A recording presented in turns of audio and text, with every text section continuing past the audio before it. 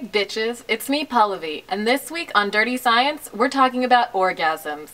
Just male orgasms though, because if we start talking about female orgasms, I might cry. Just kidding, we're talking about both kinds. Suck it boys, women have orgasms too. Allegedly.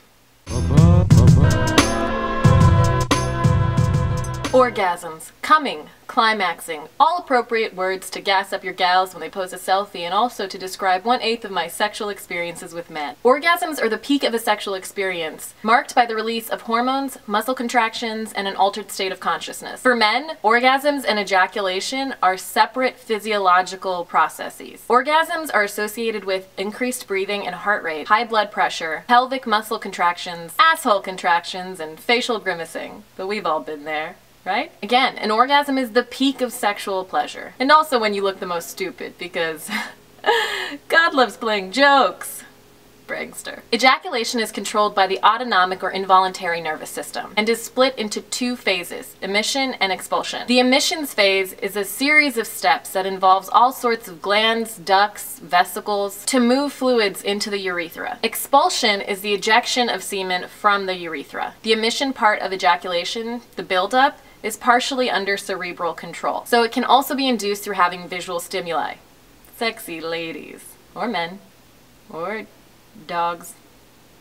I regret that last one. Okay, so when men orgasm or come, they have pre-cum, they come, they came, and if they came inside you, then technically, you're fucked. For women, orgasming is separate from reproductive purposes. There might be an evolutionary reason for the orgasm that made more sense for our ancestors than it does for us now, and that reason is ovulation. There's what's known as induced ovulation, which is ovulation that's caused by a surge in hormones as experienced when women have orgasms, or there's spontaneous ovulation, which is what women undergo today. Induced ovulation is older than spontaneous ovulation and takes place in other species Also, the distance of the clitoris from your copulatory canal, also known as your love tunnel, increases with the evolution of spontaneous ovulation. So it seems like way back when the clitoris was used to make women orgasm, causing a surge in hormones and therefore ovulation. But now we can come without kids. Coming without kids, brought to you by your fingers, other women's fingers, and sometimes a vibrator. So what are the benefits of orgasms? Well, it feels fucking great. And that's because the hormone oxytocin is being released from your neurons. Oxytocin, the love hormone, and also very addictive. Men, why do you think once you sleep with women that she won't get off your dick?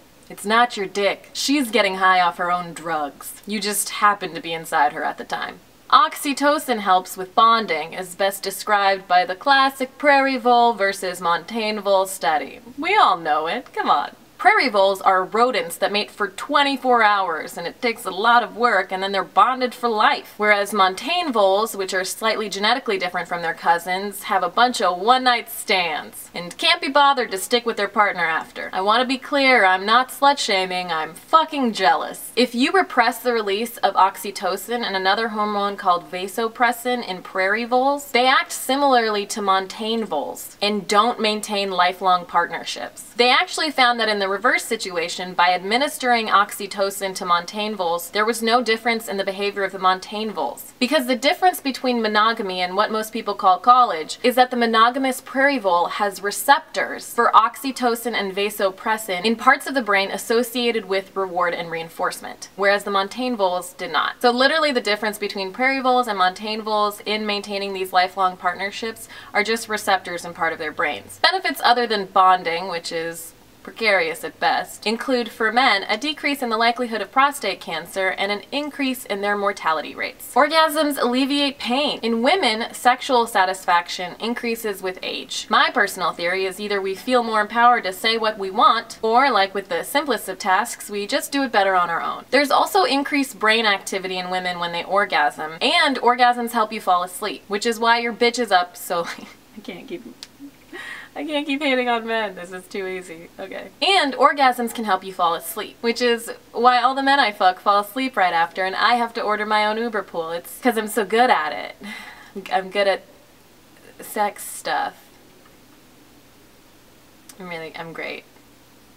Speaking of being good at it, I make a lot of jokes about women not being able to orgasm because of men, but it's only because of facts and data. There is a significant gender gap when it comes to orgasms. A study from the National Survey of Sexual Health and Behavior showed that when asked about their last sexual encounter, 91% of men and 64% of women said that they orgasmed. This study was mostly heterosexual. Another gap in information that's a giant problem. 92% of men and 98% of women said that they had this last sexual encounter with someone of the opposite sex. This is important to keep in mind because 64% of the women said that they came versus 91% of men.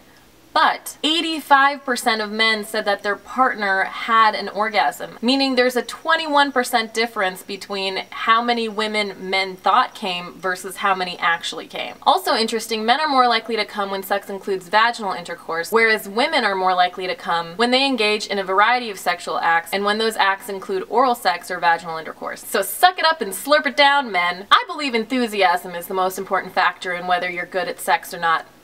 I mean, that and girth, of course. Bye! Honestly, this covers just a little bit about orgasms. I could spend all day talking about them and all night not having them. I might do a follow-up episode that includes more information about orgasms, but in the meantime, to find out more about orgasms, tune in to your partner's sexual needs, you fucking idiots. Just fucking ask questions. Here's a cricket. Can you hear the cricket? grasshopper, whatever the fuck. I'm out. Why am I so mad? Probably because I'm not coming. Okay, bye.